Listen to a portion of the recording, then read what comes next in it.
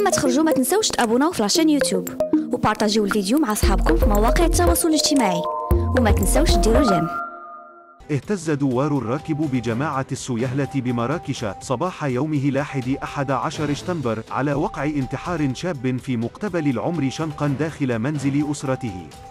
وحسب المعطيات الأولية التي توصلت بها رمضان تيفي فإن الشاب العشريني وضع حدا لحياته شنقا في الساعات الأولى من صباح يومه لاحد ألا أن إفراد أسرته لم يكتشف والواقعة لا صباح اليوم ما أحدث صدمة وسط أفراد عائلته. ومختلف مكونات الدوار وسط حديث عن احتمال انتحاره بسبب وجود خلاف مفترض مع أحد أعوان السلطة.